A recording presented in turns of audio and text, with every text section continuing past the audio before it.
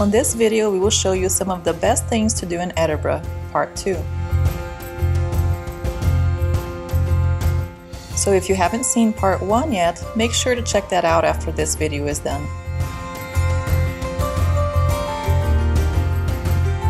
Standing on top of Castle Rock, Edinburgh Castle is visible from many parts of the city. There has been a royal castle there since the 12th century, and it was a royal residence up until 1633, when it began being used for military barracks as well as prisons for POWs. This castle was involved in many conflicts such as the Wars of Scottish Independence and the Jacobite Rising of 1745. In 2014, researchers identified 26 different sieges in its 1100 year history, making it the most besieged place in Great Britain and one of the most attacked in the world. After so many sieges, only a few of the present buildings in Edinburgh Castle predate the 16th century, such as St. Margaret's Chapel, which is the oldest building in Scotland, as well as the Royal Palace and the Great Hall. The Great Hall was completed in 1511 for King James IV. The wooden roof and beams are amazing. In here you can also see where grand banquets and events took place, as well as many weapons and armor. Inside the National War Museum and Regimental Museums, you'll see swords, guns, war uniforms, medals, and much more war memorabilia. These museums display many artifacts used by Scottish forces over many centuries.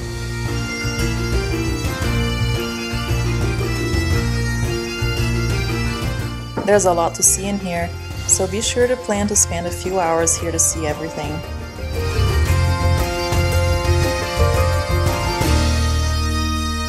The one o'clock gun is a tradition that dates back to 1861 and it was used to help ships in the Firth of Forth set their clocks at 1 p.m. The gun is fired every day except on Sundays, Good Friday, and Christmas.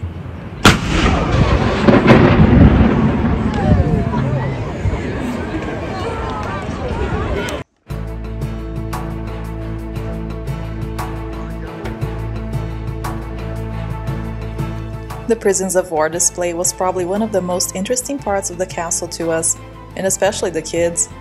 This is where pirates and prisoners were once held in the vaults below Crown Square in the 17 and 1800s. Nearly 1,000 prisoners were kept here. This is a recreation of how they would have looked back then. Prisoners came from France, America, Spain, and other European countries. Many of the Americans were those having fought in the War of Independence there is even an early depiction of the stars and stripes scratched into the door. We didn't see this when we were there, but found this photo online. Caribbean pirates were also held here before it became a prison in the early 1700s, and they were eventually sentenced to death and hung.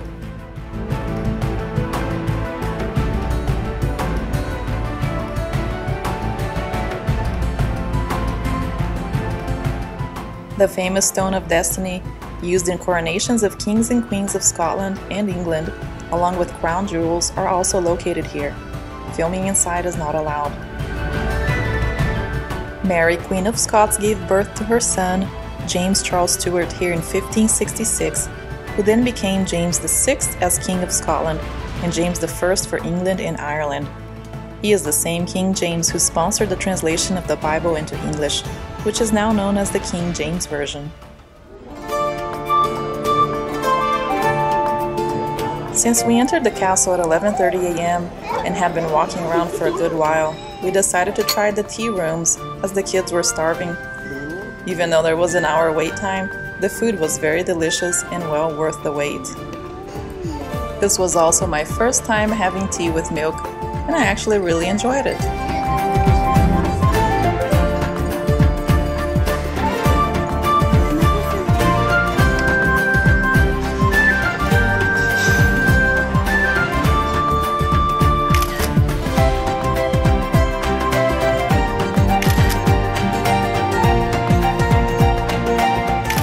Enjoy the afternoon tea and delicious sandwiches and hot chocolate.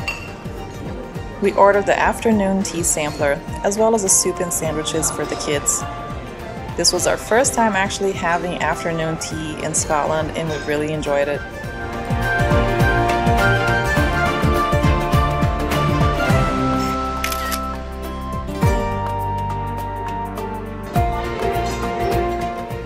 The prices for the food in the menu were actually pretty affordable for being a tea room inside Edinburgh Castle.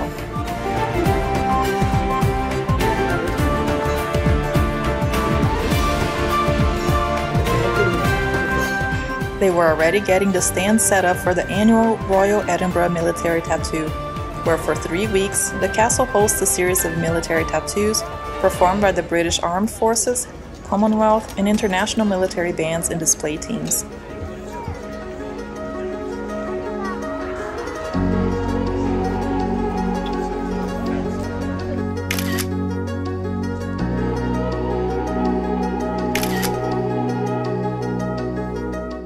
An interesting fact about the castle is that it actually sits on the plug of an ancient volcano, now known as Castle Rock.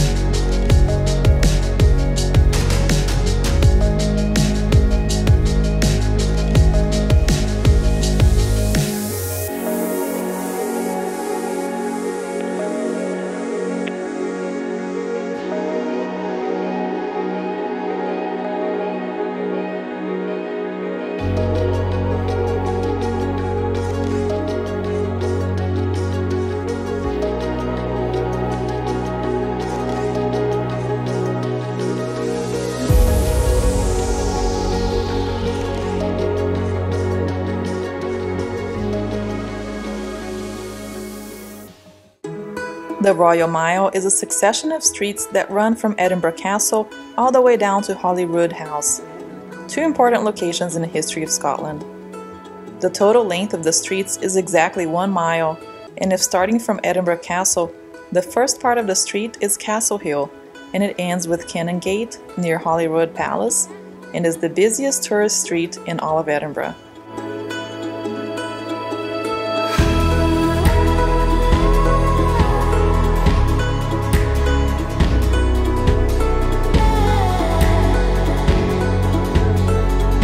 As soon as you exit the castle, you will see the Camera Obscura in World of Illusions exhibit, as well as the Scotch Whisky Experience and a few famous restaurants. The Royal Mile offers a huge variety of gift shops that sell kilts, cashmere, and lots of Scotland souvenirs, as well as restaurants, pubs, and other visitor attractions.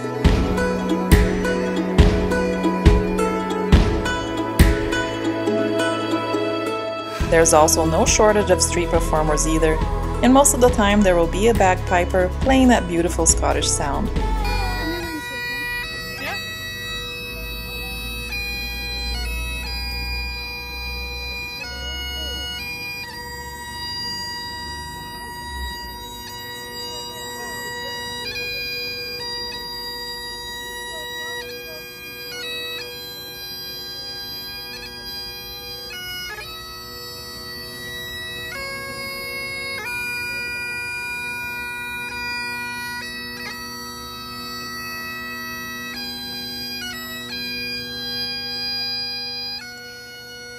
If you like our videos, please like and subscribe.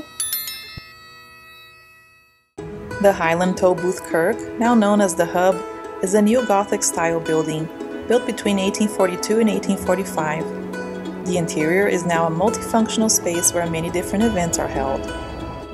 Even though it has the appearance of a church, it was never actually really consecrated as one, because the Church of Scotland had it built to function as the meeting place of the General Assembly.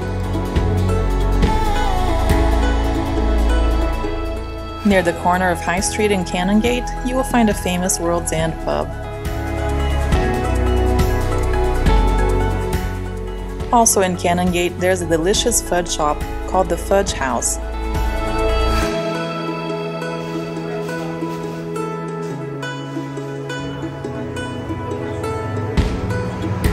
They offer lots of flavors such as Highland cream, butterscotch, caramel, as well as a huge variety of chocolate flavored that it makes it hard to choose.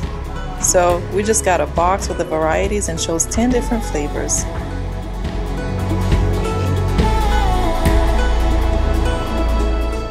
My favorite flavor was Rocky Road.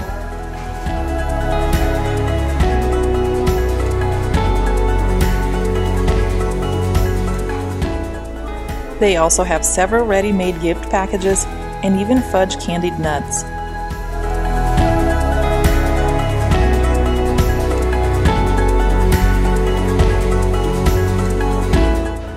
Along the Royal Mile, there are several closes that refer to small alleyways or courtyards. Bakehouse Close is famous because this is where a few scenes from Outlander were filmed.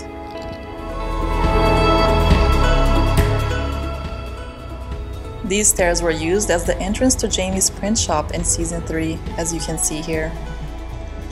It was changed quite a bit and spruced up with lots of props to make it look like 18th century Edinburgh.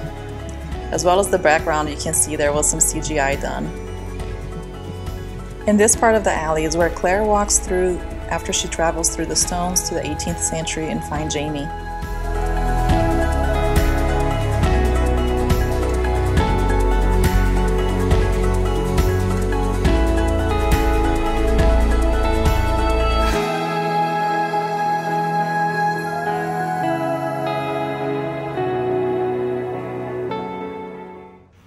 Located at the bottom of the Royal Mile where Canongate ends, you will find Holyrood Palace, the Queen's official residence in Edinburgh and the home of the Scottish royal history.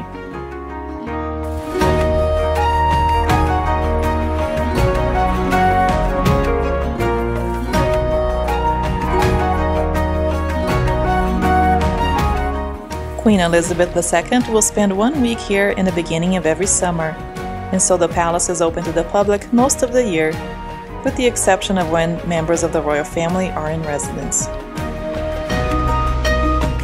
We decided not to visit it this day because we had spent most of the day in Edinburgh Castle.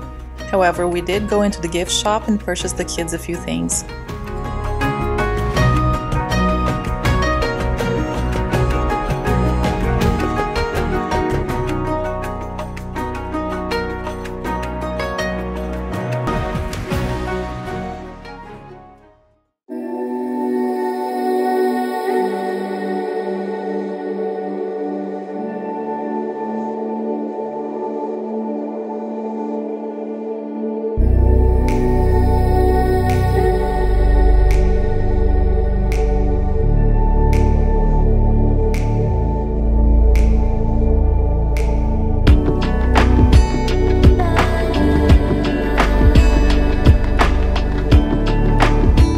Calton Hill is located close to Holyrood Palace and the Scottish Parliament building.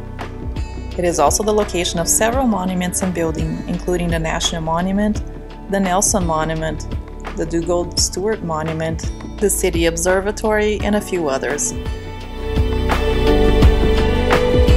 This Greek-looking construction is the National Monument of Scotland and is a memorial to soldiers who died in the Napoleonic Wars. It was designed in 1823 to 1826 and modeled upon the Parthenon in Athens, but due to lack of funds, it was left unfinished in 1829.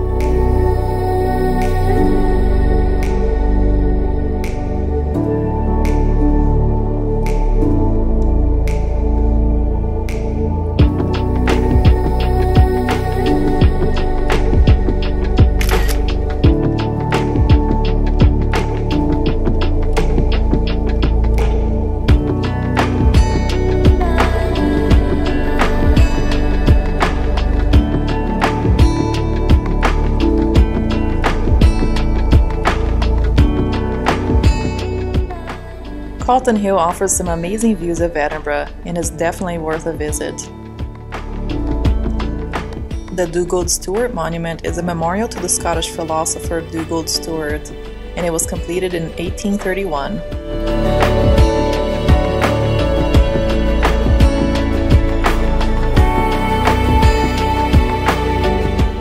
The Nelson Monument was built between 1807 and 1816 to commemorate Vice Admiral Horatio Nelson's victory over the French and Spanish fleets at the Battle of Trafalgar in 1805.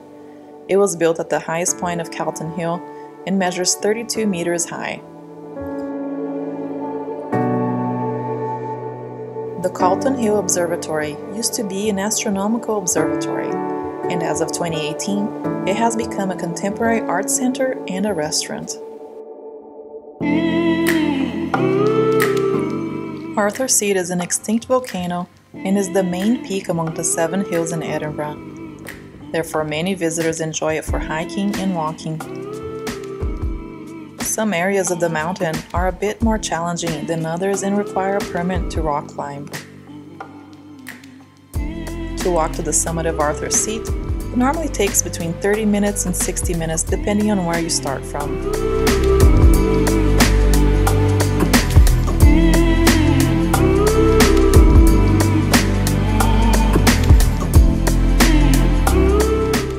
One knows for sure how this extinct volcano hill got its name, some say this was Camelot, the legendary home of King Arthur.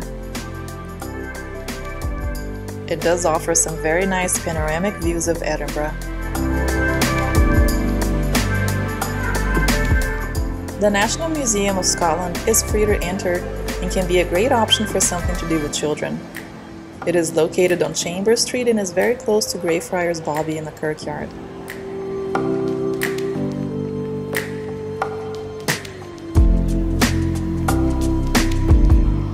The Grand Gallery has a lot of animals and skeletons of prehistoric animals displayed, and it is very cool to look at.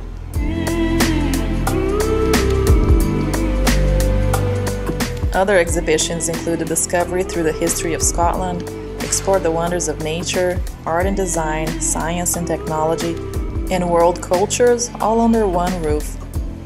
We won't show you everything here, but if you're there and interested, make sure to check this place out. If you get hungry, there is a cafe inside the museum where you can buy some food and sweets, as well as have a great view of the Grand Gallery.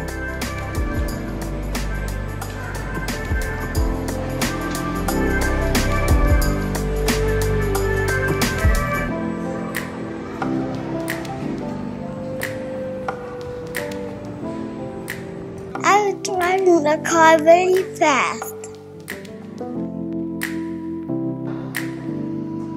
The Family Interactive Galleries is a very fun space for the kids. Here they can go and explore and interact and learn with the wonders of the natural world through puzzles and more.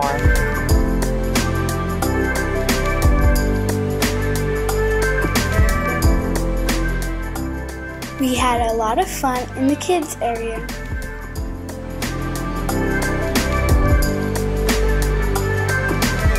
And the most famous sheep in the world, Dolly, is here. She was the first ever cloned mammal.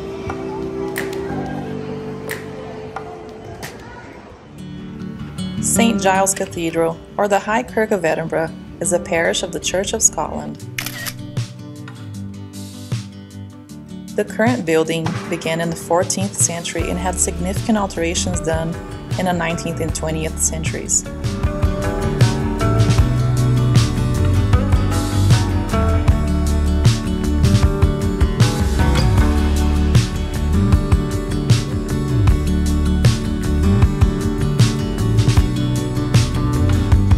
These banners show all the present knights who belong to the Order of the Thistle. And the glass windows are considered to be the best Victorian stained glass windows in all of Scotland.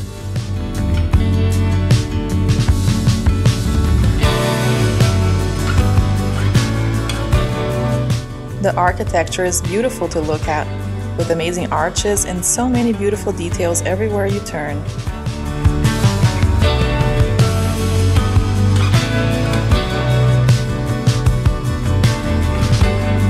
This stunning organ was installed recently in 1992.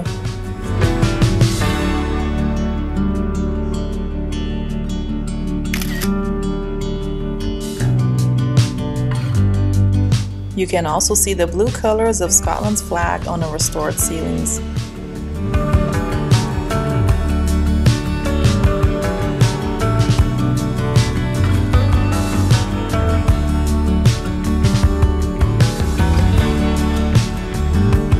1559, the church became Protestant with John Knox the foremost figure of the Scottish Reformation, as its minister. It is thought that without John Knox in his leadership, the Reformation may have never happened in the mid 1500s.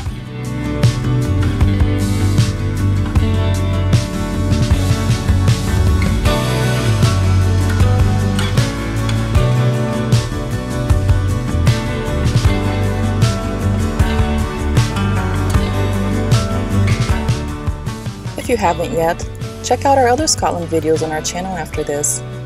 And if you enjoyed this video, be sure to watch part 3 where we explore the outer skirts of Edinburgh, as well as our part 1 video which is already posted. Also, if you are already subscribed to our channel, thank you so much. And if you're not, we would be honored if you would click that subscribe button as well as turn on the notifications to help us reach our first 500 subscribers.